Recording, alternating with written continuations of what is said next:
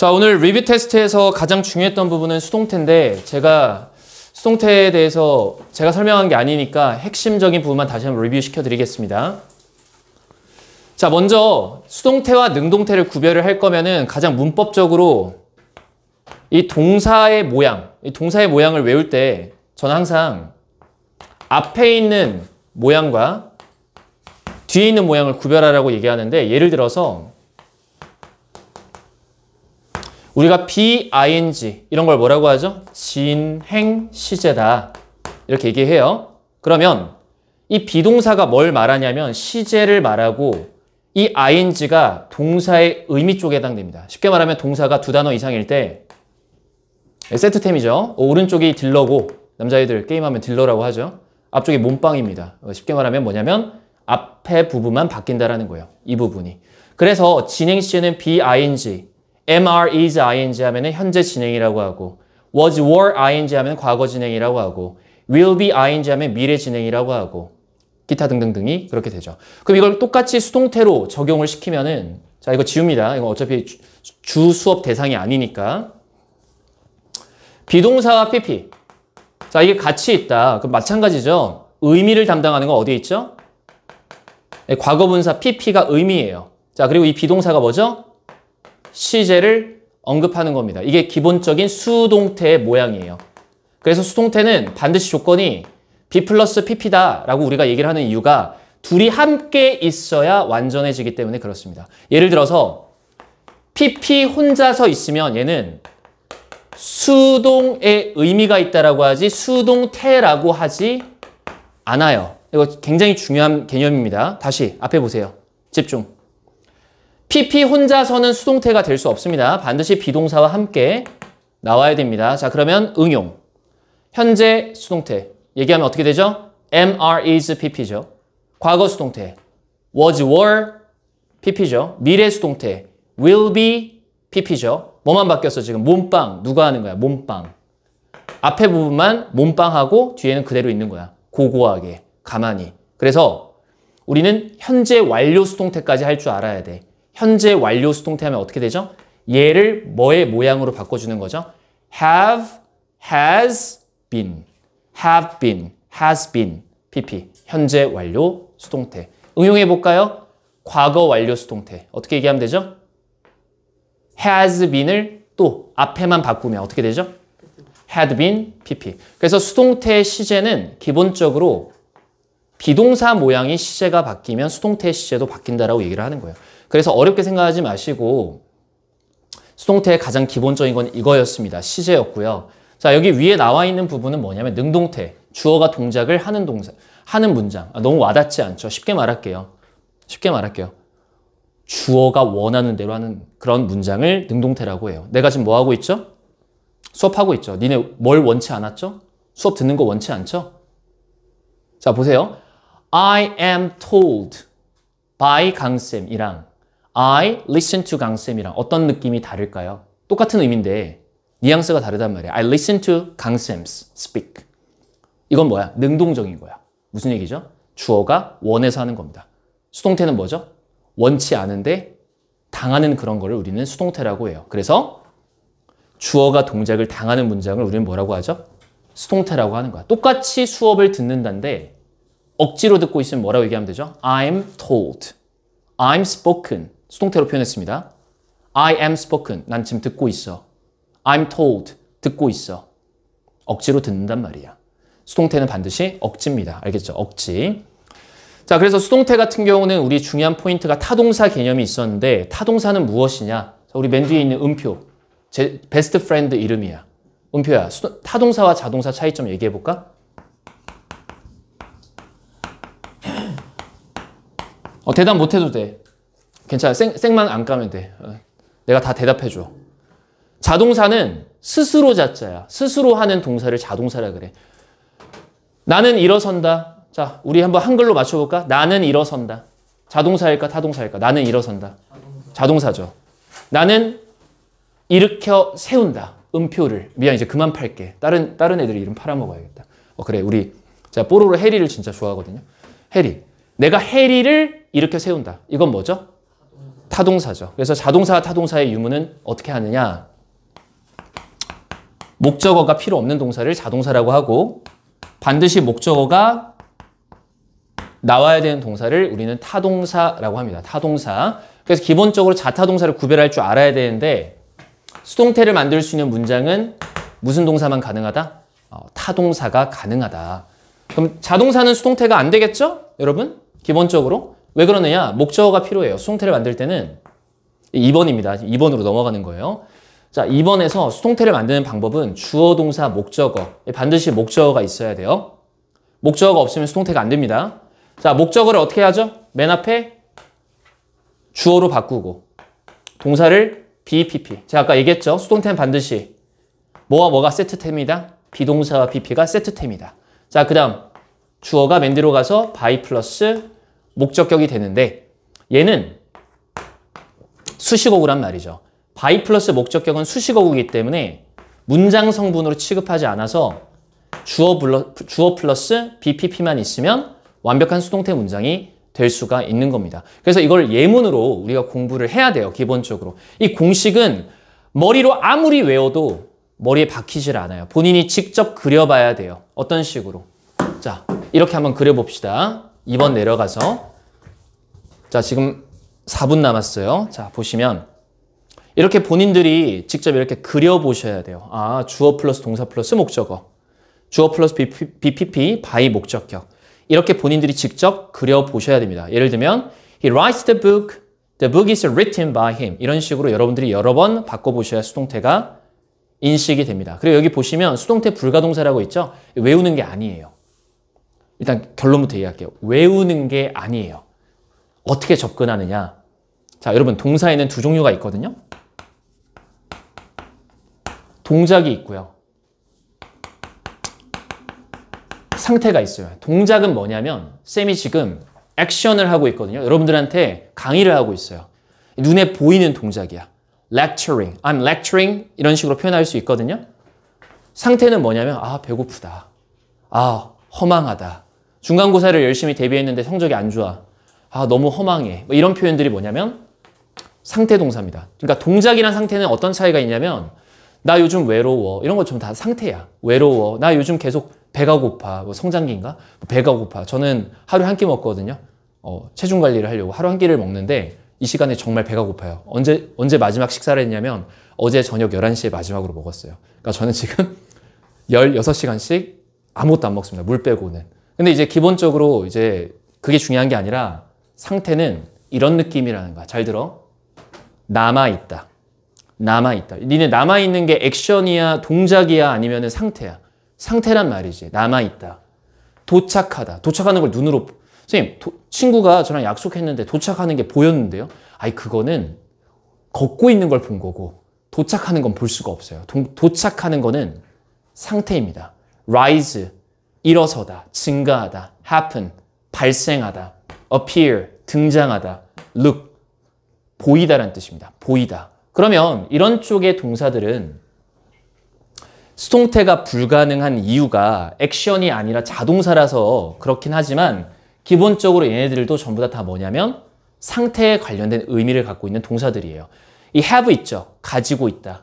fit, 적합하다. resemble, 닮다. Belong to, 속하다. 이것들도 역시 마찬가지로 무슨 동사죠? 상태 동사예요. 근데 저는 이런 거를 갖다가 외우라고 안 하고 뭐라고 얘기하냐면 상태는 수동태가 될 수 없다. 아까 얘기했잖아. 얘는 나한테 배고파지는 걸 당했어. 이건 개소리입니다. 얘는 얘는 나 때문에 지루하, 지루하는 상황이야. 지루함을 억지로 당하는 상황이야. 이런 표현들은 수동태로 쓸 수가 없다는 거예요. 예를 들면 얘는 지금 수업을 잘 듣고 있고 쟤는 지금 수업에서 힘들어하고 있고 기본적으로 수동태는 그러니까 반드시 이 동작에 관련된 동사만 수동태가 가능하다. 자, 한번 써볼까요? 나는 아, 쓰지 마세요. 마음속으로 쓰세요. 아빠를 닮는다. 이거 뭘 쓴 거냐면 resemble을 쓴 거야. resemble. 이 동사를 가지고 능동태로 쓴 겁니다. 자, 이거 수동태로 바꿔볼게. 나는 아빠를 닮는다죠. 아빠는 나에 의해 닮아진다. 일단 한글로 써놓고 병맛 같으면 은 일단 문법이 잘못된 거야. 한글로 써놓고 병맛같이 해석이 되면 이거는 문법상 잘못된 겁니다. 닮아진다라는 표현은 상태이기 때문에 어, 수동태가 될 수가 없다. 그래서 타동사와 자동사를 구별하는 것도 중요하지만 이 수동태 불가능 동사를 그냥 생으로 외우는 거는 좀 너무 무의미하고 상태 동사는 수동태가 안 된다라고 기억해 두시는 게 편합니다. 이미 뭐 처음 수업 듣는 게 아니라서 이 정도만 얘기를 하도록 하겠습니다. 자, 3번에 by 플러스 목적격을 생략하는 경우 자, 여기 예문 한번 볼게요.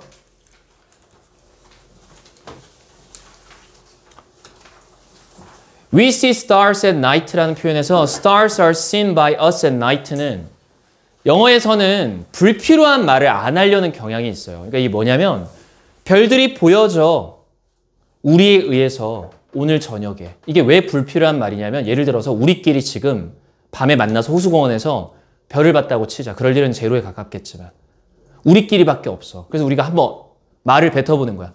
야 별들은 보여지네. 우리에 의해서. 약간 이거 뭐랑 똑같아? 쓸데없는 말을 하는 거랑 똑같거든요. 우리밖에 없잖아. 지금 얘기를 하는 상황에서. 그래서 이 by us와 같은 표현은 쓰면은 약간 어떤 느낌에 너 상대방 IQ를 한 자릿수로 의심할 때 상대방 IQ를 무시하는 처사라는 거야. 이 by us를 써야 될 때와 아닐 때는 차이점은 우리끼리밖에 없을 때는 굳이 쓸 필요가 없는 말이라서 쓰지 않는다. 일반인 주어인 we, you, they, one, people. 이게 왜 일반인이느냐? 우리, 너네, 그들, 한 사람, 사람들. 불특정한 다수를 지칭하는 거야, 이거는. 특정한 사람을 언급할 때는 행위자를 써야 되는데 불특정한 사람들을 지칭할 때는 수동태 be, pp 뒤에 by 플러스 목적격을 쓰지 않는다. 자, 그리고 능동태 주어가 분명하지 않거나 나타낼 필요가 없을 경우. 이거 내가 아까 얘기했죠? 집이 지어졌다. 그들에 의해서 20년 전에. 이 그들이라고 하는 거 누군지 알아요? 뭐 사람 이름 다 얘기할 수 있어? 어, 불가능하단 말이죠. 이런 것들은 행위자를 쓰지 않는다. 자, 4번으로 넘어가겠습니다. 수동태 시제. 이거 아까 제가 얘기했죠? 여러분들이 제일 많이 틀렸어요, 오늘. 오늘 1일 테스트에서 제일 많이 틀렸기 때문에 제가 아까 이거 어떻게 외우라고 했죠? 항상 영어의 시제는 앞쪽이 시제, 뒤쪽이 의미라고 했습니다. 이거 보세요. 뭐만 바뀌어요? 잘 보시라고. 앞에만 바뀌죠? 맨 앞에 거를 해석할 줄 알아야 돼. 자, MR이즈니까 현재네. 뒤에 pp가 있네. 수동태네. 이런 식으로. has been. 언제 쓰는 표현이야? has been. 현재 완료 시제. 현재 완료가 뭔지 물어보신다면 과거부터 현재까지 어쩌고저쩌고 뭐 그런 얘기였죠? 물론 현재 완료 시제는 여기까지만 얘기하겠습니다. has been. pp. 현재 완료 수동태. 자, 앞에 볼까요? MR is being pp. 자, 우리는 기본적으로 MR is랑 being이 합쳐지게 되면은 이걸 이렇게 보셔야 돼요. 앞쪽은 현재, 가운데는 being, 진행, 마지막에 pp는 수동. 합치면 뭐가 되죠? 현재, 진행, 수동태. 그래서 키워드가 머릿속에 바로바로 바로 떠올라야 돼요. 진행이다 하면 바로 뭐가 떠올라야 되죠? being. being. 이게 바로 떠올라야 돼요. 수동이다 하면 어떤 게 떠올라야 되죠? pp. 앞에 있는 비동사는 어떤 역할을 하죠? 동사. 그러면 질문. being pp는 동사일까 아닐까? 얘는 동사가 아닙니다. 뭐가 반드시 있어야 동사죠? 맨 앞에 비동사, 몸빵 할 애가 있어야 be, being, pp라고 해야 이 두 개 합쳐서 진행, 이 두 개 합치면 수동, 태라고 얘기를 하는 거예요. 자, 응용해 볼까요? 그러면 현재 진행 수동태. 어떻게 얘기하면 되죠? 현재 진행 수동태. MR is being PP. 과거 진행 수동태. 뭐만 바뀌어? 맨 앞에만. was, were, being PP. 미래 진행 수동태. 뭐만 바꿔? 비동사만 바꿔. 그럼 어떻게 되죠? will be, being PP. 그렇게 쓰진 않지만 이론적으로 가능하다는 거죠. 자, 지금 무슨, 무슨 뭘 하는 건지 모르는 사람들이 있는데 그냥 이것만 기억해. 맨 앞이 시제고 뒤에가 의미다. 자, 오른쪽으로 올게. 여기 보면 완료 진행형 없죠? 없는 게 아니라 있는데 요즘 안 쓰는 거야. 어, 요즘 없어요. 그러니까 요즘 없다라고 하, 시면 됩니다. 요즘 없습니다. 이론적으로는 존재해요. 이론적으로.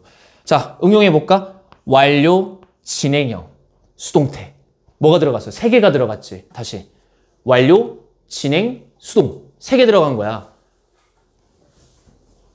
근데 나 진짜 궁금한 게 있는데 개인적으로 내가 요즘 세대 차이를 좀 많이 느껴서 너네 롤 하니? 아니요. 어 감사합니다. 발로란트 합니까? 네. 아 오케이 그럼 요즘 대세가 발로란트야? 네. 오케이 알았어.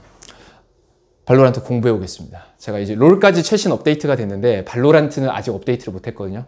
어, 조만간 설치해서 좀 해볼게요. 아 그러면 이제 우리가 이렇게 해보자. 축구, 축구가 11명이서 뛰는 경기죠. 완료 진행형 수동태는요. 마치 축구에 13명이 뛰는 거랑 똑같아요. 막, 마치 학교 운동장 축구라고 하죠. 막 초등학교 때 저는 25대 25 이렇게 싸운 적이 있었는데 패싸움이 아니라 한 반에 인원이 50명이어서 초등학교 때. 그래서 축구를 하면은 25대 25입니다. 25대 25. 그리고 남자 여자애들 다 섞여서 축구했어요. 자, 써볼게요. 아까 완료 진행형은 뭐뭐가 필요하다고 했냐면 재료가 자 완료는 have pp죠.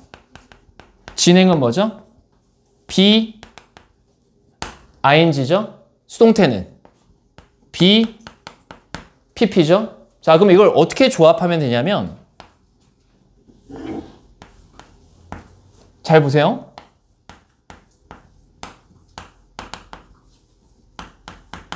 자, 어때요? 멍멍이 같죠? 어, 제가 욕하는 거예요. 멍멍이 같죠? 이런 거 존재하지 않는다는 얘기야. 무조건 존재하지 않는다. 완료 진행형은 없습니다. 그래서 우리는 뭐만 기억하면 된다? 완료 수동태, 진행 수동태, 단순 수동태. 이것만 기억하시면 됩니다. 자, 수거 암기. 여러분들 극혐이죠? 어, 이런 거 하지 마세요. 이런 거는 독해하면서 그냥 자연스럽게 공부하도록 하겠습니다. 오늘 시간에는 어, 설명을 안 할 거예요. 자, 굉장히 중요한 개념들에 대해서 얘기했는데 다시 한번 질문할게요. 자동사, 타동사 구별할 줄 알아야 돼요. 타동사는 목적어가 있으니까 타동사만 수동태가 된다. 인정? 오케이. 자동사는 수동태가 안 된다. 인정? 오케이. 자동사는 목적어가 없으니까 수동태가 되지 않는다. 자, 그 다음 수동태는 내가 어떤 뉘앙스라 그랬어?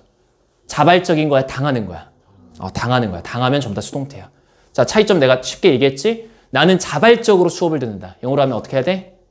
I'm listening to 강쌤. 오케이? I'm listening to 강쌤. 나는 타의에 의해서 강쌤이 너무 카리스마가 넘쳐서 억지로 듣고 있다. 어떻게 되죠? I am told. 그럴 때 수동태를 쓴다. 수동태는 억지성을 나타냅니다.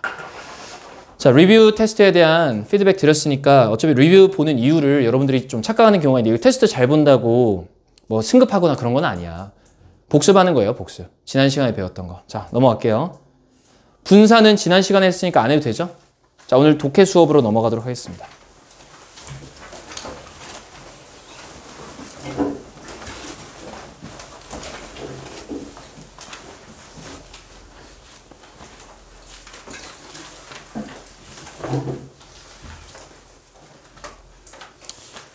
자, 슈퍼맨. 어, 슈퍼맨이라고 하죠. 원어민 발음은 슈퍼맨. 근데 나는 잘 모르겠어. 이게 우리 때는 막 슈퍼맨이나 배트맨이나 막 이런 게 좀 유행했는데 요즘은 취향들이 너무 이렇게 다 달라가지고 뭐 좋아하는지 아닌지 난 모르겠고 마블 영화는 다 보신 적 있으세요? 뭐 이거 오른쪽에 아이언맨이네. 어, 저는 진짜 고3만 수업하다 이런 수업하니까 정말 참신하고 어, 매우 매우 새로워요. 잠깐만요. 음. 자, 그래서 보시면은 뭐 밑에 질문 한번 보겠습니다. Who has special powers and fights against crime? 단어 공부할게요. 누가 특별한 힘들을 가지고 있고 이 fight against에 체크할까요? against 한번 체크해 보시고 이 against란 전치사는 맞서 맞서는 거를 against라고 표현하는 거예요. 누가 범죄에 맞서 싸우고 있느냐. 자, 지금 보시면은 이런 두 명의 존재. 왼쪽은 슈퍼맨, 오른쪽 아이언맨. superhero라고 표현합니다. 미국에서는 superhero.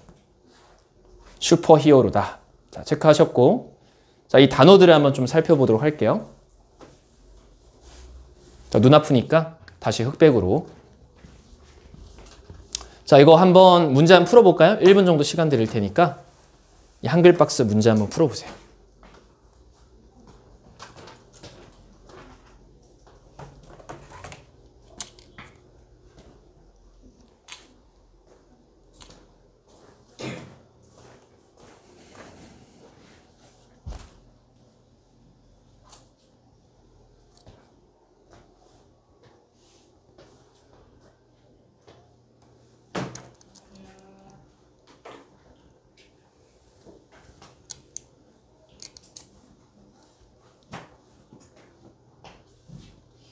오케이. 자, 한번 보도록 하겠습니다. 제가 여기 있는 단어들 해석해 드릴 테니까 여러분들은 여기 아래쪽 채점을 하세요. 자, 갈게요. 오늘날 연예계에서 활약하는 superheroes 중에 하나인 슈퍼맨의 origin 이야기를 알고 있는가? 영웅이라는 뜻이었고, origin, 기원이라는 뜻입니다. origin, 기원. 명사로 정확하게 외우세요. 기원, 출신. 여기가 정답이죠? 기원 출신 C. 여기 2번을 C랑 연결시키시면 되겠습니다. 자, 저도 별로 관심 없었는데 오늘 알게 됐어요. 오늘 수업 준비하다가. 그가 태어난 크립톤이라는 planet, planet, 행성이라고 합니다. 크립톤이라는 행성은 곧 explode, 폭발할 운명이었다. explode까지 폭발하다, 폭발하다.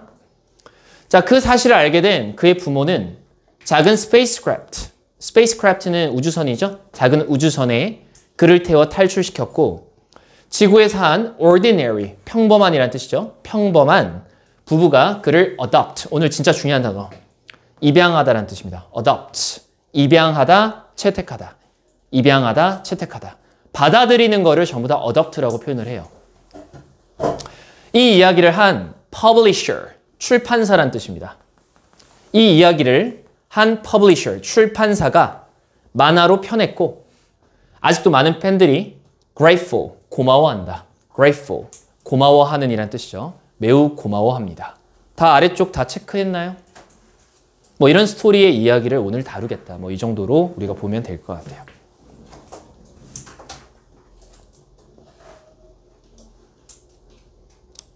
자, 이거는 이거는 검은 화면에서 수업이 불가능한 형태인데 원래 아무것도 없나요? 여러분 책에도? 아, 제 노트북이 맛이 간 거죠? 원래 다 굵은 글씨로 써요. 어, 저도 안 보여서 노트북에. 희한하네. 혹시 구문 분석 수업할 때 이 페이지로 했니? 아니면 뒷장? 오케이, 뒷장 볼게요.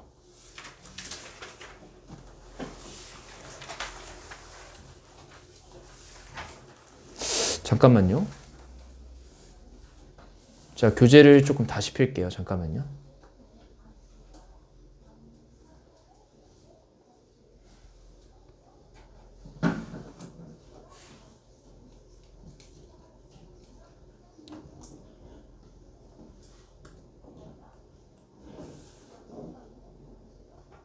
거의 이 책이 끝났네. 음, 잘 보이죠? 자. 제가 수업을 어떻게 하셨는지 스타일을 잘 모르지만 오늘 여러분들 실력 점검도 할 겸 제가 읽을 시간을 한 3분 드리고 모르는 단어의 현관펜 체크를 해두시면은 제가 단어를 설명 먼저 하고 여러분들 해석하실 수 있게끔 도와드리도록 하겠습니다. 자, 먼저 한번 읽어보세요.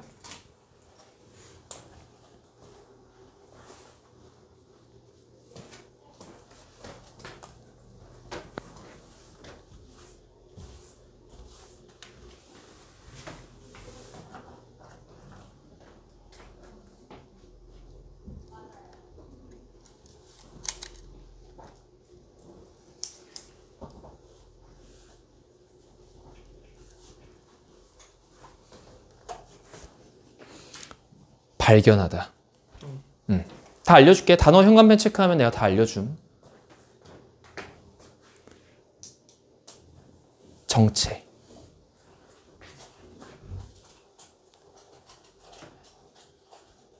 entertainment world today 하면은 오늘날의 연예 연예계를 entertainment라고 해요. 연예계. 뭐 방송계 뭐 이런 뜻 있잖아.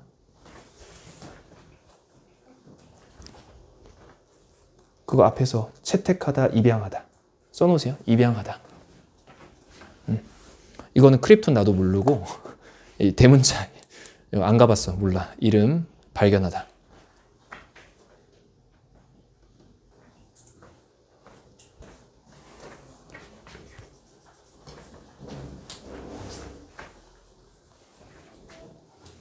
이게 publish가 출판하다고 ER 붙으면 사람이야. 그러니까 출판사가 돼.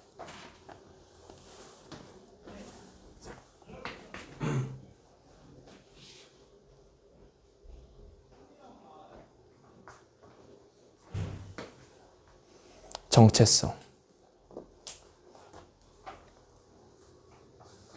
나머지는 없음?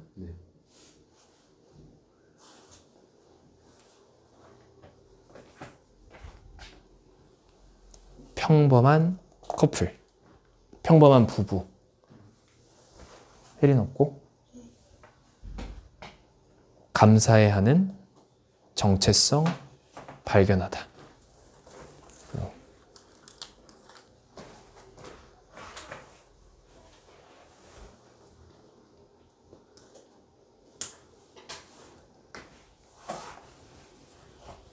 다르게 정체성.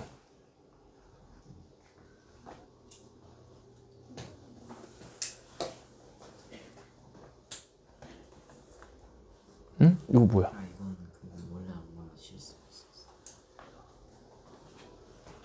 자, 30초 남았네?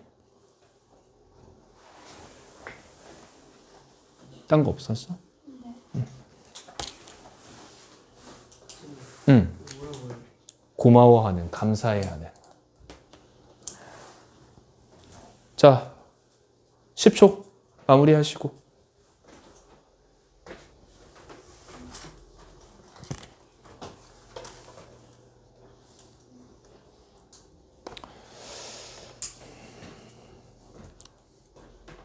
자, 이 책 거의 마지막 부에 왔네요. 한 두 번 수업하면 다 끝나겠는데 빨리 끝냅시다.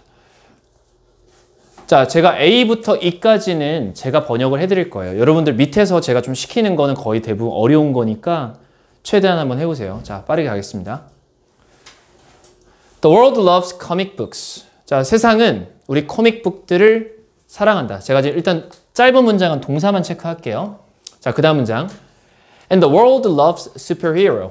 그리고 세상은 슈퍼 영웅들을 좋아합니다. The entertainment world today.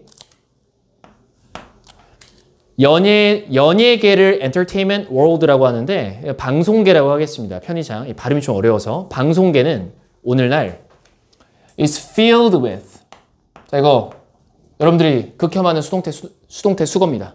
be filled with까지. 뭐뭐로 가득 차다라는 뜻이에요. 뭐뭐로 가득 차다. 제가 강조하는데 이유가 있겠죠. 뭐뭐로 가득 찬다.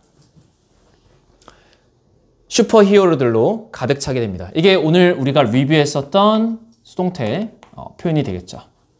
B 플러스 PP 같이 있습니다. 우리가 전치사 with라는 표현 자체가 이 with가 보통 언제 쓰는 거냐면 뭐뭐와 함께라는 뜻일 때 많이 쓰거든요.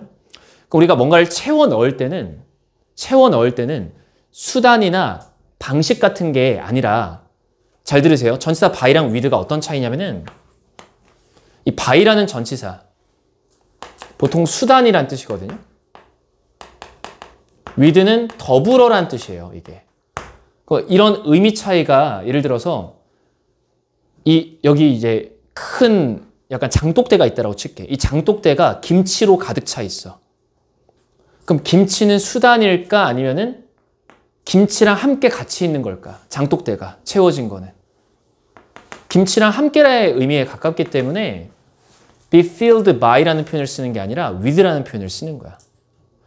I was taught by 강쌤. 이거는 내가 뭐야? 니네 입장에서 도구죠? 내가 수업을 듣는데 내가 니네한테 니네 입장에선 도구란 말이야. 나는 수단에 불과하단 말이야. 그러니까 전치사 뭘 쓰고 일반적인 수동태일 때는 by를 쓰는 거고 이런 특수한 경우는 with를 쓰는 겁니다. 자, 넘어갈게요. 뭐 이해하려면 이해하시고 이해하기 싫으면 그냥 외우세요. 이런 것들은. 자, 오늘날의 방송계는 가득 차 있다. 슈퍼 영웅들로. 자, 다음 문장 볼게요. He is a superhero. 자, 그럼 이제 질문을 하나 던져봐야지. 자, 승우. 승우. 어. 여기 he. 앞에서 찾아보세요. 없으면 없음. 있으면 있음. 응. 응.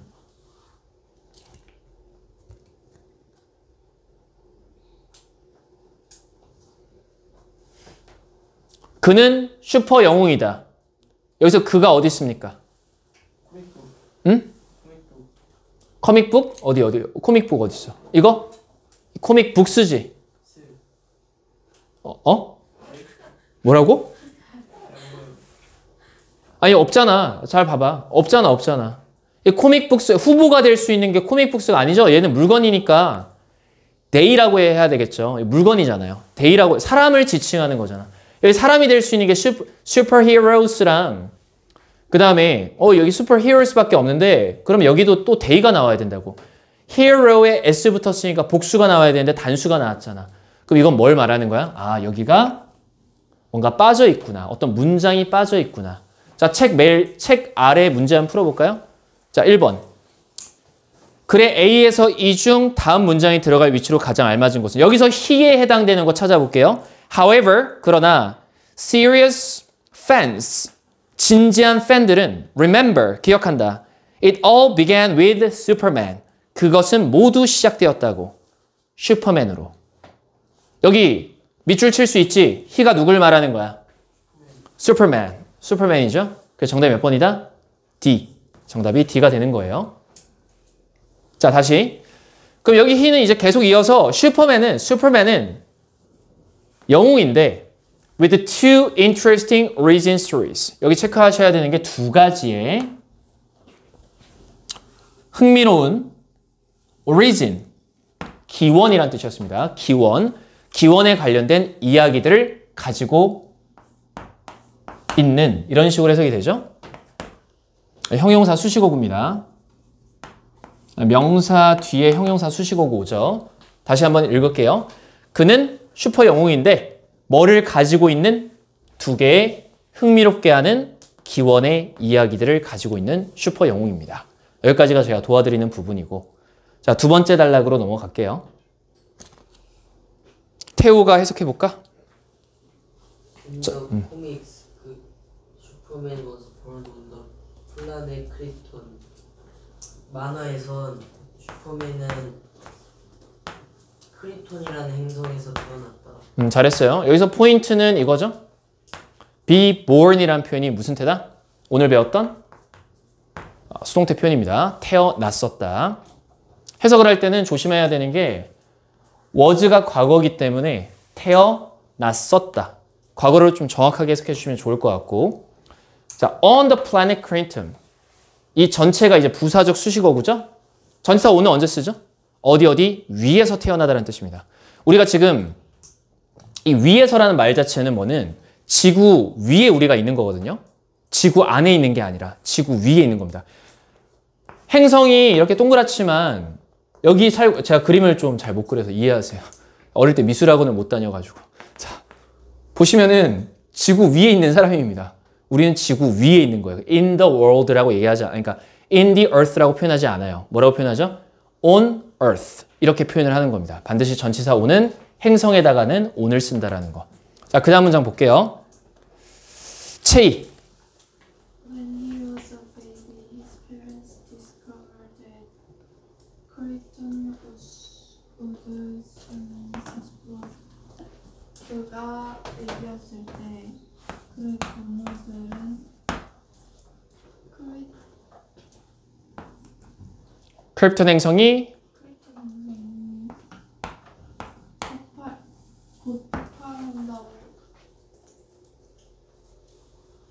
폭발한다라는 것을 발견, 발견했었다. 자, 오늘 배웠던 동사 개념 중에 굉장히 중요한 자동사의 개념이 여기 나오는데 크립톤 행성은 폭발 당했습니까? 아니면 지 혼자 폭발한 겁니까? 어, 폭발 당했으면은 뭐 원자 폭탄에 의해서 폭발이 되는 건데 explode는 자타 동사라고 해요. 자타 동사. 이게 뭐냐면 한 동사에 자동사 뜻도 있고 타동사 뜻도 있어요. 자, 그러면 would는 조동사거든요. 이거는 고민하지 마시고 would be exploded 이렇게 표현하지 않았고 would explode라는 거는 아, 지, 지가 스스로 알아서 폭발했구나. 이런 식으로 우리가 해석을 할 수가 있겠죠. 다시 한번 볼게요. 그가 아기였을 때 부모님들은 발견했다. 크립턴이라는 행성이 곧 폭발할 것이라는 것을 알게 되었다. 여기 무슨 동사가 쓰였다고요, 지금? 자동사입니다. 자동사. 자동사. 타동사 아닙니다. 뭐 악당이 있었겠지. 뭐 어떤 악당이 폭발시켰을 수도 있고. 근데 여기서는 혼자서 폭발한 겁니다. 혼자서. 자, to save him, 그를 구하기 위해서 다음 문장의 주어의 체크 한번 해볼게요. 자, 그를 구하기 위해서 그들은 built a small spacecraft. 작은 우주선을 만들었고요. and 다음에 sent는 동사 2번입니다. 이 built가 지금 동사 1번이고 sent가 지금 동사 2번이에요. 보냈습니다. 그를 지구에 at the last moment 이게 마지막 순간에란 뜻입니다. 마지막 순간에 지구로 그를 보냈습니다. 자 질문 당연히 대인은 누구죠? 누구 아빠 엄마? 슈퍼맨 아빠 엄마입니다. 슈퍼맨 아빠 엄마. 자 그 다음 문장 지우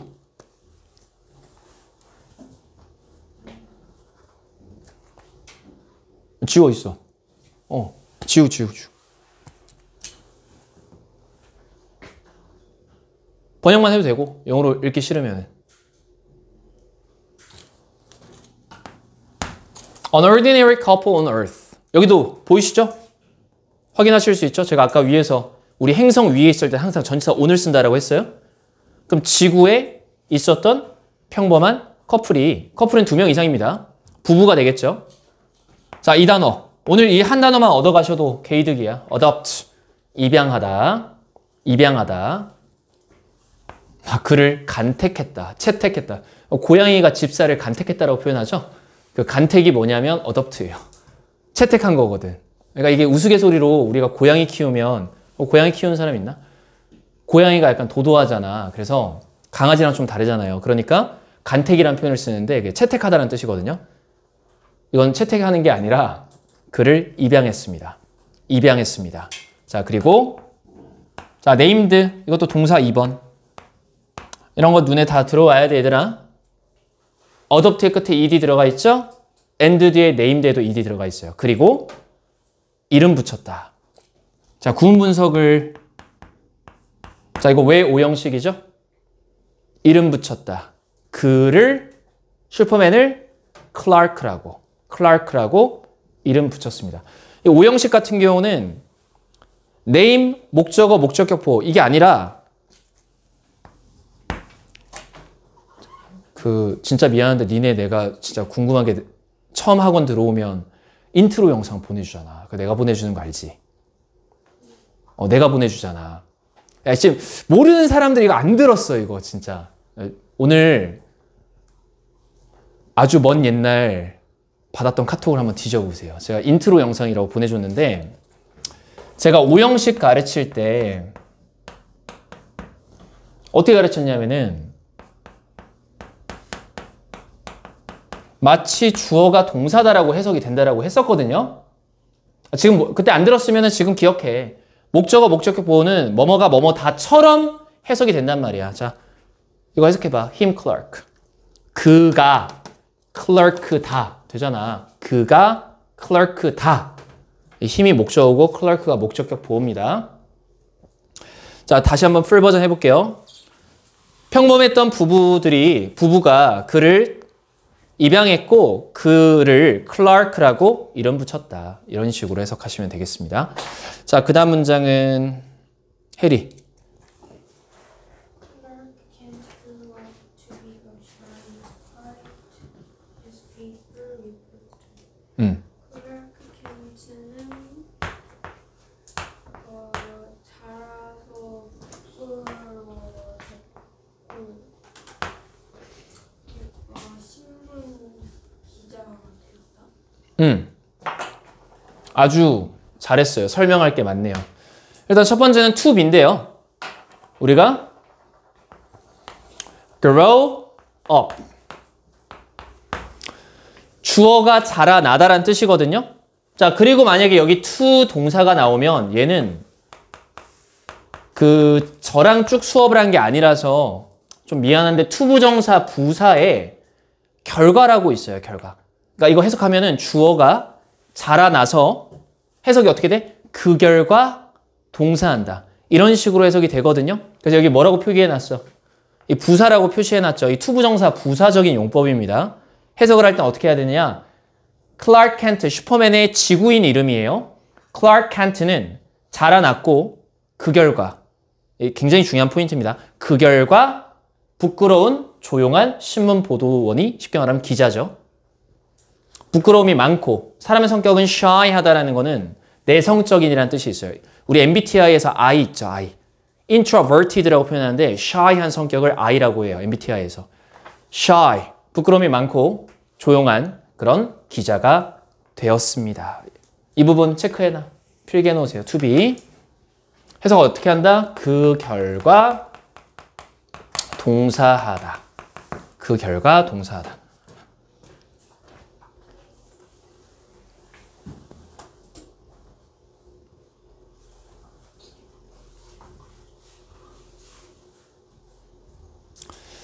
자, 아까 제가 여기 두 번째 단어 많이 봤었던 거. identity. 정체성. 정체란 뜻이야. Yet his secret identity, Superman, had amazing power. 이 yet은 그러나라고 해석해 주시면 됩니다. Yet, 그러나, 그러나, 그러나, 그러나 그의 비밀스러운 정체성인 슈퍼맨은 자 주어를 어디까지 잡아줘야 되냐면 어, 여기까지 전체를 주어로 잡으세요. 그리고 이 컴마 보이시죠? 컴마. 우리 이런 거 동격의 컴마라고 합니다. 동격. 그러니까 그의 비밀스러운 정체성이 뭔데? 슈퍼맨인데 여기까지가 다 주어입니다. had amazing power. 놀라운 힘을 가지고 있었습니다. 자, 그러면 지금 이 B의 댐은 뭐가 될까요? 앞에 있었던 항상 이 댐을 찾을 때는 가까이서 찾으세요. 앞에 있었던 거. 제일 가까운 거 뭐야? 강력한 힘들. He used them. 그는 그 강력한 힘들을 사용했는데 to fight crime. 범죄와 맞서 싸우기 위해서 힘들을 사용했었다. 자, 지금 여기까지 필기 안 된 거 있으면 빠르게 30초 줄 테니까 필기 찾아서 하시고. 제일 중요했던 거 이거야. 오형식. 목적어가 목적격 보어다라고 해석이 되는 거. 여러분들이 헷갈릴 수 있는 거. 두 번째가 이겁니다. grow up 뒤에 투동사가 나오면 해석 어떻게 한다? 그 결과 뭐뭐하게 되었다. 그 결과 뭐뭐하게 되었다.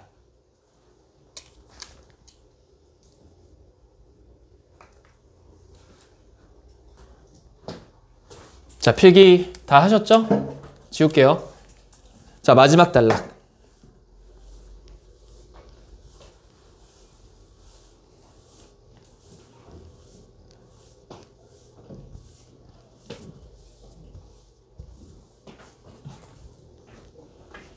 마지막 단락이 아닌가? 음, 마지막 단락 맞죠? 자, 이 부분. In real life, Superman started out differently. 자, 여기서 체크. started out에 밑줄 쳐주시고요. 그냥 start도 아니고 왜 started out이라고 표현을 할까? 그리고 differently는 왜 부사를 썼을까? 뭐 한번 고민을 한번 해보겠습니다. 실제 삶에서는 슈퍼맨은, 슈퍼맨은 다르게 started out. 다르게 시작되었다. 이런 식으로 해석을 해도 되는데 그냥 단순히 시작하는 게 아니라 착수하다라는 뜻을 갖고 있습니다. 착수하다. 약간 좀 어떤 느낌이죠? started out. 혹시 어감 차이 알까? start랑 started out이랑. start는 시작하다고 start out은 착수하다라는 뜻이야. 혹시 오늘 수업 태도가 제일 좋은 맨 뒤에 오른쪽 누구지 이름이? 나 빨리 외울게. 태호. 그래 맹태호. 태호야. start랑 start out의 차이점 혹시 느껴지니? out의 차이가 어떤 느낌일 것 같아? 없어지다. 없어지다. 어, 아주 좋은 예신데 혹시 여러분 그 홍석천 아저씨 아세요? 뭐 연예인 중에 커밍 아웃이라고 하는데 이 성 정체성을 밝히는 걸 커밍 아웃이라고 하잖아. 거기서도 out이 쓰이네. 약간 좀 어떤 느낌일 것 같아? 밝히다. 시작되는 걸 아, 굉장히 유사했어. 시작되는 걸 알리다. 자 무슨 얘기냐면은 쓰지 말고 start는 그냥 시작하는 거고 start out은요 원래 존재하다가 원래 존재했던 거야. 그러니까 없, 없는 게 아니라 원래 존재하다가 드러나기 시작하다라는 뜻이에요. 쉽게 말하면 원래 플러스 드러나다는 합치면 드러나기 시작하다 이런 식의 해석이 나옵니다. 그러니까 이 아웃의 뉘앙스는 뭐냐면 밝혀내는 거를 아웃을 써요. 발, 발견되고 밝혀지는 거. 원래 있었던 거잖아. 한번 읽어볼래? 슈퍼맨은 좀 다르게 드러나기 시작했다. 이런 느낌이야. 다르게 드러나기 시작했다. 범상치 않게 출발했다는 얘기지. 쉽게 말하면. 자, 뒤에 읽어볼게요. There were two teenage friends in Cleverland in 1932. 자, 우리 there is, there are 구문은 주어가 뒤에 나오시는 거 아시죠? 네, friend의 s 체크하시고 두 명의 10대 친구들이 존재했었는데 있었는데 클레버랜드라는 지역에 1932년에 자, 그 다음 문장은 지환이 their names부터 해석해 보세요.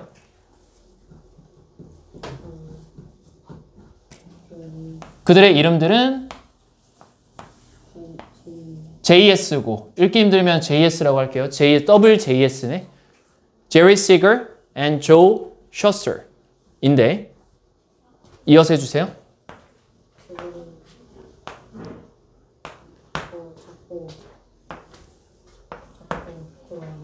어, shy. 사람의 성격이 shy하다. 내향적이다. 뭐 학교 가면은 내향적인 친구들 있잖아. 어, 나도 원래 shy한 사람이에요. 이 both라는 표현이 뭐냐면 둘 다란 뜻이야. 둘 다란 뜻입니다. both, small and shy. 작고 또한 내향적인 애들이었다. 이 두 명의 원래 저자가. Their classmates looked down on them. 어, 진짜 중요한 수거. look down on. 별표 치시고요. look down on. look이 보다라는 뜻이고 down이 아래로라는 뜻이고 on은 누군가 위에 서겠다라는 뜻이야. 이거 답시 뭐가 되겠죠? 막 그 성격 중에서 좀 거만한 애들이 친구들 어떻게 하죠? look down on. 깔보다. 위에서 내려다보다. 위에서 내려 봐봐. down. 이렇게 내려다보는 거잖아. on. 누군가를. look down on them. 깔보았습니다. 이 굉장히 중요한 수거예요. 깔보다. look down on. 그들의 친구들이 그들을 깔보았습니다. 여기 왜 또 잘렸어? 아, 이거 원래 빈칸이니 혹시? 오케이. In a way, blah blah blah. 자, 어떤 측면에서 어쩌고저쩌고 했는데 좀 이따 얘기하겠습니다. 자, 다음 문장. Together, they created a comic book character who used his powers to protect the weak. 함께 그들은 만화책 캐릭터를 만들어냈는데 who used his powers to protect the weak. 자, 보겠습니다. 이 관계사절이라고 하는데 해석을 할 때는 뭐 어떤 이런 식으로 해석을 해도 상관없고 그리고 그가 이런 식으로 해석해도 상관없습니다. 자, 전 두 버전 다 보여드릴게요. 함께 그들은 만화책 캐릭터를 만들었다. 그리고 그는 여기서 말하는 그리고 그는 누굴 말하죠? 만화책 캐릭터가 그의 힘을 사용했다. 뭐 하기 위해서? 약자. 더 weak라는 표현은 약자들을 보호하기 위해서. 이게 첫 번째 해석 버전이고 두 번째 해석 버전. 그냥 아예 처음부터 그들은 자신의 힘들을 약자를 보호하기 위해 사용했었던 만화책 캐릭터를 만들었다. 이게 두 번째 해석 버전이야. 저는 뭐를 선호하냐면 이런 식으로 해석하는 거를 저는 선호합니다. 선택적으로 하세요. 할 수 있는 대로. 관계사절 같은 경우는 그러니까 이제 보통 주어 동사 다음에 명사 다음에 후 동사 어쩌고저쩌고 이렇게 나오면은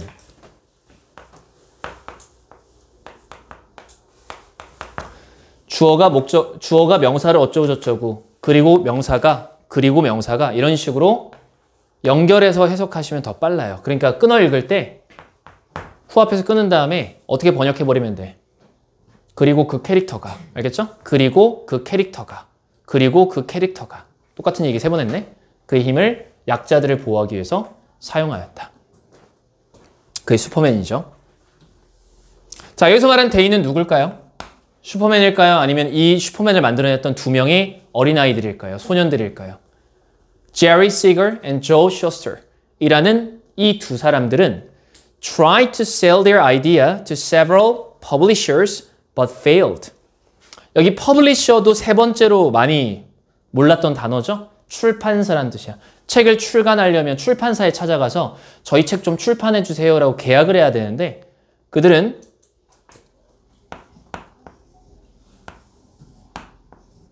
자, 우리가 try to 동사는 뭐뭐 하려고 노력하다라는 뜻입니다. 뭐뭐 하려고 노력하다. try ing랑 try to 동사랑 차이점이 좀 있- 있는데 여기서 얘기 안 할게요. 그들의 아이디어를 판매하려고 노력했다. 누구에게? several. 발음 잘해야 돼. severe 이란 뜻이랑 several. 발음 완전 다르죠? several. 알겠죠? 콩글리시로. 여러 명의 출판사들에게 아이디어를 판매하려고 노력을 했습니다. 하지만 failed. 실패했죠. 자, 맨 마지막 문장은 아니고 그 다음 문장의 음표, 해석.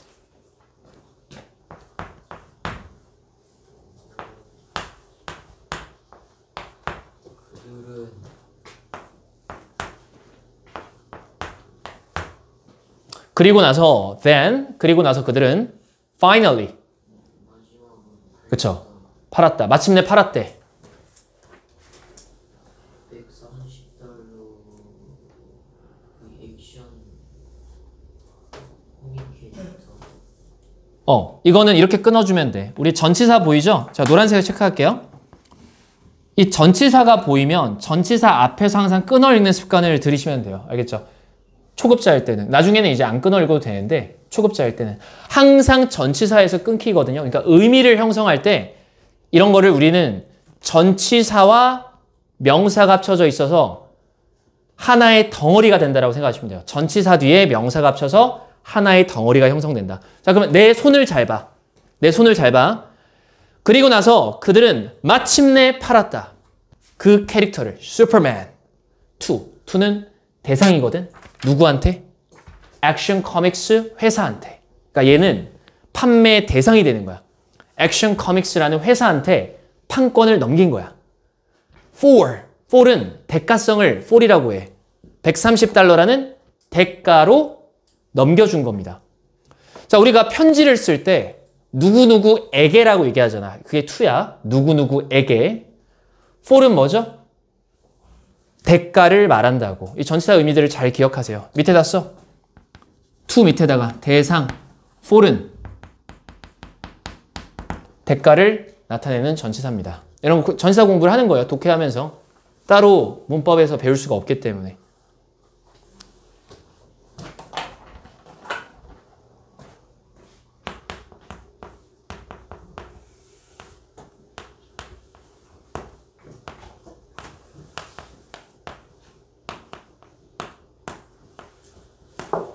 뭐 이런- 거 많이 보거든요. exchange가 교환하다라는 뜻이야.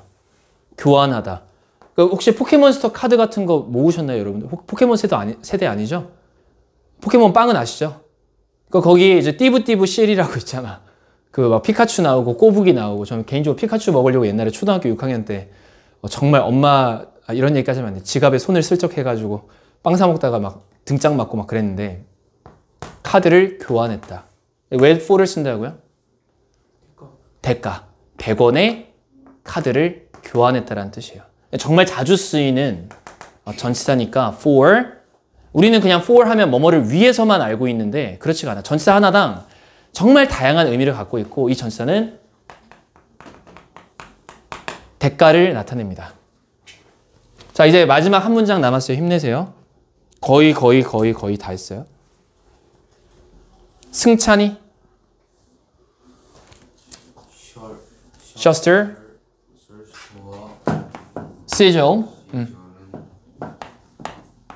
한 번도 음, 절대 절대 부자 부자가 되지 못했다. 창 슈퍼맨을 그치. 우리가 by는 아까 수단이라고 했죠. 전치사에서. 오늘 배웠던 전치사 꼭 기억하세요. by, on, for이었습니다. by, on, for이었어요. 그리고 with까지. with 4개 설명, 선생님이 설명했죠. by ing는 뭐뭐 함으로써라고 해석합니다. 뭐뭐 함으로써. 그럼 by creating 창조함으로써. 정확하게 해석하세요. 뭐뭐 함으로써. 슈퍼맨을. 아, 불쌍한 사람들이야. 이 슈퍼맨이요. 역대 미국의 탑 오피스 탑 10 안에 들어가는 그런 명작 중에 영, 명작 영화란 말이야. 미국인들 보통 슈퍼맨 다음에 배트맨 이런 식으로 순서로 히어로들을 좋아하는데 정말 리메이크가 많이 된 그런 작품인데 이 사람들은 절대 부자가 되지 못했어. 왜? 몇 달러에 팔았으니까? 130달러에 그 아이디어를 팔았으니까. 자, but they have millions of grateful fans who know these origin stories. 자, 마지막 제가 하겠습니다. 하지만 이 두 명의 10대들은 have 가지게 됐는데 millions of는 수백만 명이라는 뜻이야. millions of 수백만 명의 grateful 네 번째로 오늘 중요했던 단어 고마워하는 grateful 고마워하는 팬층들을 가지게 되었다. 자, 제가 아까 이 후 어떻게 해석하기로 했죠? 앞에 거 그대로 가져가서 해석했죠? 같이 해봅시다. 앞에 팬스로 끝났어요? 그럼 어떻게 하면 돼? 그리고 그 팬들은 그리고 그 팬들은 안다. 이러한 기원의 이야기들을. 자, 수업 미션입니다. 지금 이러한 기원의 이야기가 뭔지를 밑에다가 한글로 적으세요. 여백에다가. 문제 없는 문제야.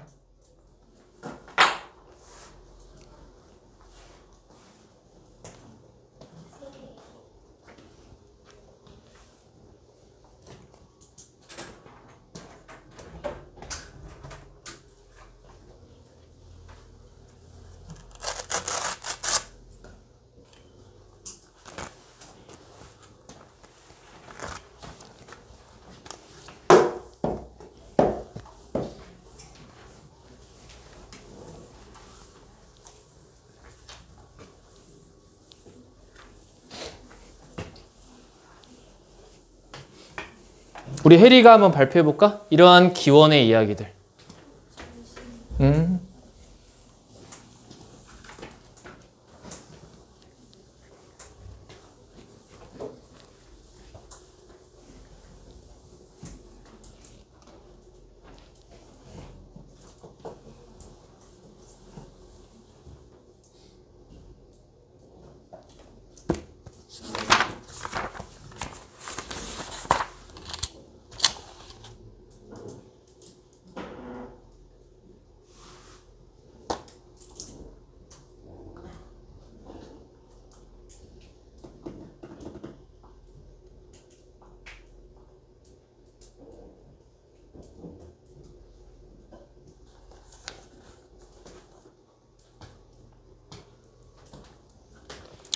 자, 사실은 지금 이제 단락적으로 접근을 좀 하면 이러한 기원의 이야기들이라는 게 이 단락의 가장 핵심적인 내용이거든요. 그러면 이 스토리를 좀 요약을 해주셔야 돼요.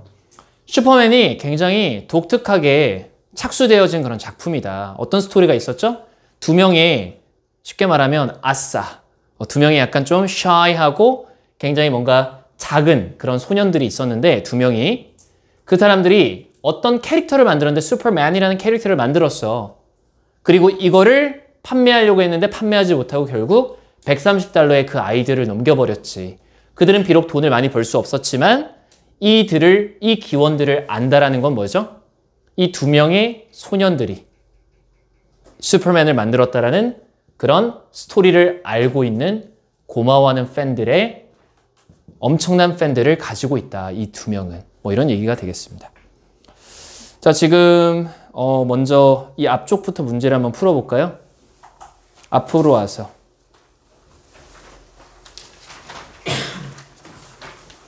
(81페이지입니다) 글의 제목으로 가장 알맞은 것은 자 30초 드리겠습니다 30초 여러분들 집에 가서 숙제하기 싫죠? 아, 안 그래도 새 학기인데 바빠 죽겠는데 빨리빨리 합시다 오늘 수업 시간에 숙제까지 다 끝내드릴게요 글의 제목으로 가장 알맞은 것은 The world's favorite comic book. 세상에서 가장 좋아하는 comic book이다. 2번. The stories behind the first superhero. 최초의 슈퍼히어로 히어로 이면에 있는 자 여기 behind 체크 behind는 이면에 있는이라는 뜻이야. 이면에 있는 숨겨진 이야기들. 뭔가 좀 느낌이 오는데, 그쵸? 느낌 오는 사람 있어? 제목은 일단 어그로를 끌어야 돼. 어그로를 끌어야 되기 때문에 주제랑 맞닿아 있으면서 주제를 드러내줘야 돼. 3번. Greatest comic book authors of all time. 이 all time은 항상, 평생 이런 뜻을 갖고 있어. 가장 뛰어난 만화책 저자들. all time. 역대. 역대 최고의 만화책 저자들. 자, 정답 한번 할- 확인해 볼까? 돌아다니면서. 자, 골라봐. 음.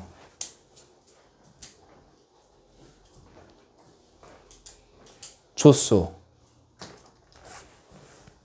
음. 잘했어요. 2번 정답이 최초의 슈퍼히어로 누굴 말하죠? 슈퍼맨. 그렇죠? 다음 문제 가보겠습니다. 2번. 1번은 풀었어. 나랑 같이. 글을 통해 알 수 없는 내용.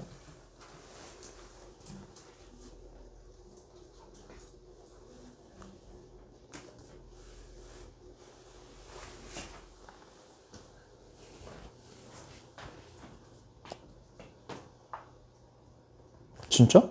출신지? 안 나왔어? 나왔지 않나요?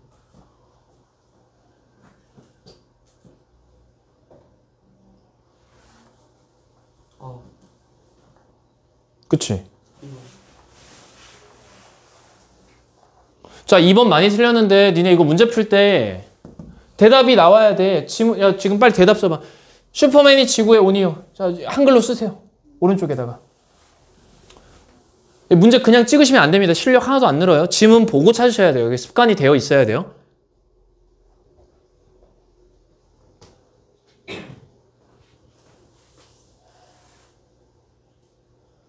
그치? 1번은 다들 잘 쓰네.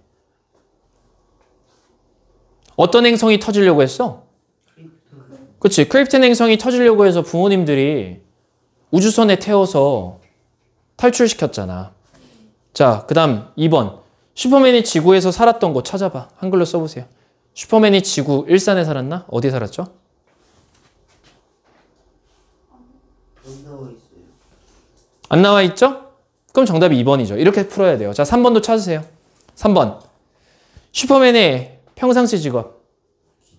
기자. 신문 기자. newspaper reporter이라고 하죠. newspaper reporter. 자, 4번. 시조가 쇼스터 의 출신지. 출신지라는 거는 보통 이제 어디 살았느냐. cleverand. 자, 5번. 슈퍼맨 캐릭터를 구입한 회사. 어디 나옵니까? 슈퍼맨을 구매한 회사. 어, 맞아. 액션 코믹스. 액션 코믹스입니다. 다 답을 찾았네. 자, 오른쪽으로 와서 3번.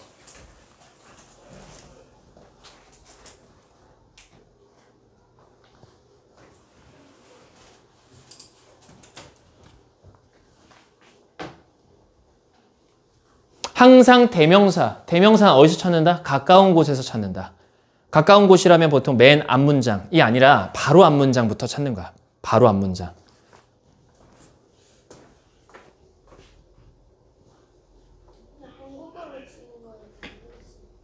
둘 다. 상관없어.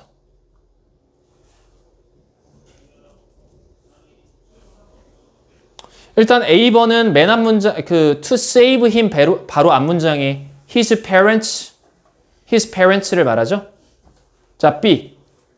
앞, 바로 앞에 있는 amazing powers, amazing powers가 정답입니다. 자, 4번 풀어보세요.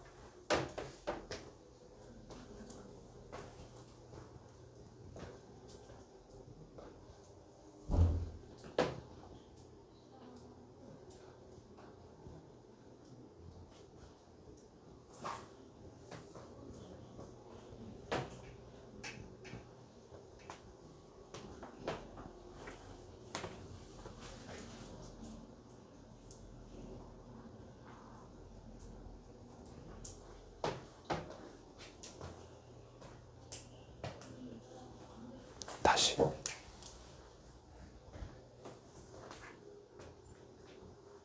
다시. 다시. 다시. 다시.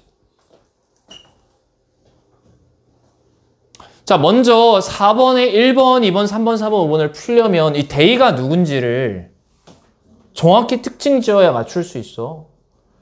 이 맥락상 이 they가 들어가는 자리를 잘 봐. 다시. 힌트 줄게. 자, 봐봐. 여기 빈칸 여기 있잖아.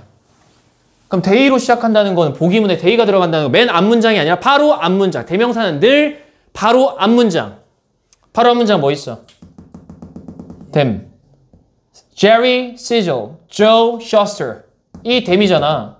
그러면 그들은 그들은 이 두 명의 꼬마 소년 10대 작고 수줍었던 소년들은 으로 시작하는 거란 말이야. 자, 문제 다시 볼게. 작고 수줍음이 많던 10대 소년들은 만화책들을 좋아했다. 소년들은 마치 클래크 켄트와 같았다. 소년들은 슈퍼맨처럼 깝쳤다. 농담한 거야. 4번. 그들은 조용하지만 강력했다. 그들은 그들의 학급 친구들을 싫어했다. 좋아하지 않았다. 근거가 있어야 돼. 근거가. 뭐 추론을 하려면 근거가 필요한데 맥락이 어떤 맥락이야? 다시 한번 봐.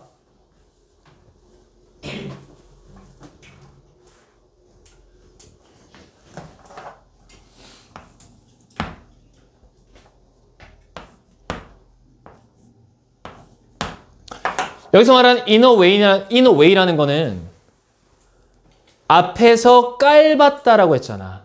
학급 친구들이. 인성이 나쁜 애들이네. 인성 나쁜 애들이 그들을 깔봤잖아. in a way, 어떤 방식으로. 한편으로. 그들은 뭐와 같았니, 지금? 슈퍼맨이랑 상당히 닮은 점이 많았다. 왜? 슈퍼맨이 뭐니까? shy. Shy한 사람이었잖아. shy. 그래서 남들이 안 보일 때만 변신해가지고 악당들을 물리쳤단 말이죠. 그런 성격을 무슨 성격이라고 한다고요? shy한 성격이라고 합니다. 아, 본인을 막 이렇게 내비치지 않는 성격을 shy하다라고 표현을 합니다. 자, 정답 몇 번이야? 2번. 3번이라고?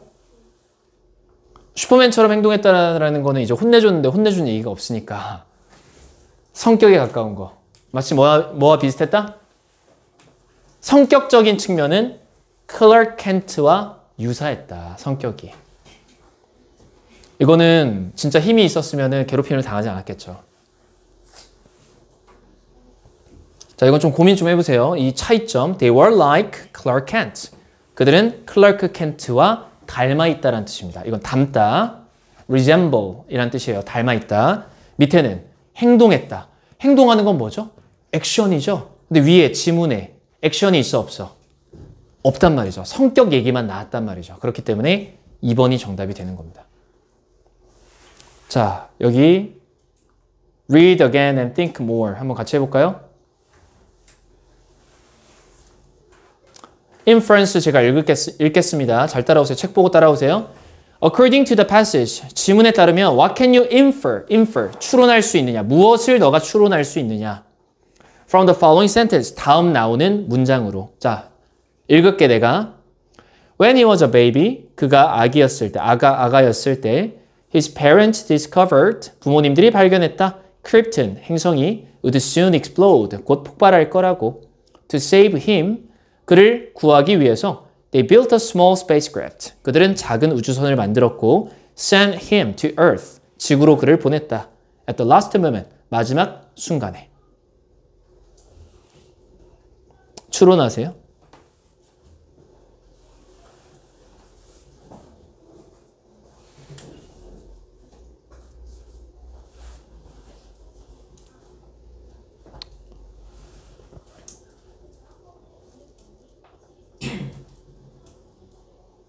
자, 1번. In the end, 마침내 크립턴은 실제로 폭발하지 않았다. 2번. 슈퍼맨의 진짜 부모님들은 원래 지구 출신이었다. 우리가 be from이라는 표현이 나오면 출신지를 말해요. 출신지. originally는 원래라는 부사고요. 원래 지구 출신이었다. 3번. 슈퍼맨의 부모님들은 were not able to save. be able to 동사는 뭐뭐 할 수 있다는 뜻이고 were not able to save 스스로를 구할 수가 없었다. 결국 돌아가셨다는 얘기거든요. 정- 정답 몇 번이죠? 3번. 아들만 태워서 지구로 보냈기 때문에 결국 부모님은 폭발했죠. 지구와 같이. 그러니까 돌아가셨다. pass away라고 했다. 자, summary.